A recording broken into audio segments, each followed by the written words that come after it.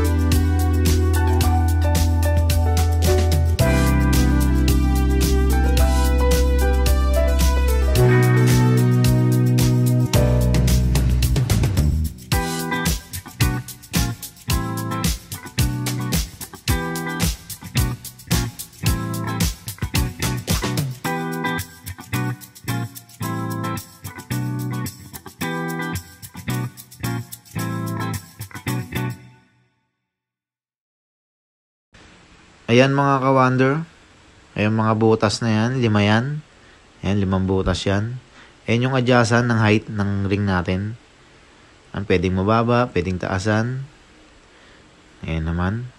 Ayan, nabuo na natin siya. Next naman, ayan na. Kapit na natin yung board and ring niya. Let's go!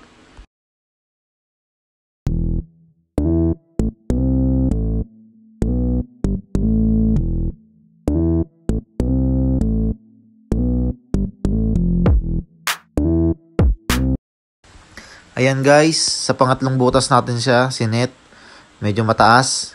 Ibaba pa natin.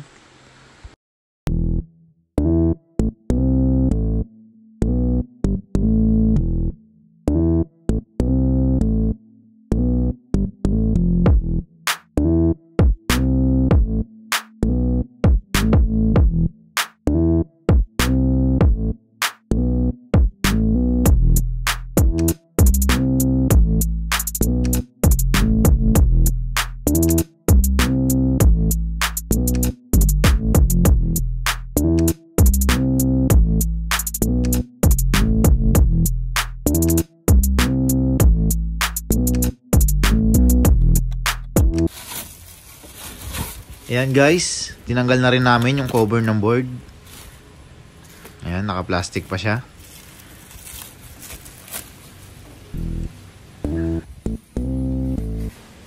Ito naman guys, ayan. Ayan, extra lock niya.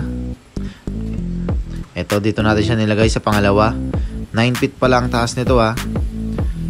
Ayan yung sa pangalawa. Tapos, ang pinakamataas na adjust niya ay 10 feet.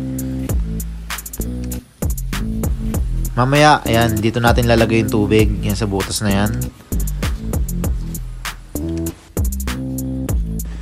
Ayan yung ring. May net na. Tapos yung board. Sakto lang naman, hindi siya manipis. Hindi rin siya makapal. Sakto lang pambahay. Ayan, tayo na natin.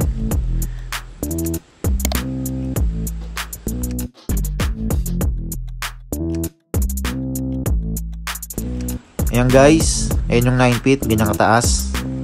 Sakto lang naman sa amin. Hindi naman kami matatangkad na tao. Ayan.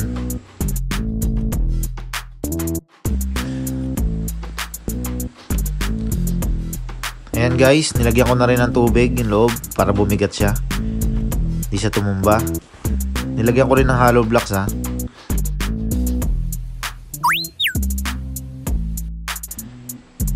Ayan na mga ka-wonder. Assemble na natin. Ayan o. Oh. Pinupunuan pa natin ng tubig. Yung base niya. Para bumigat.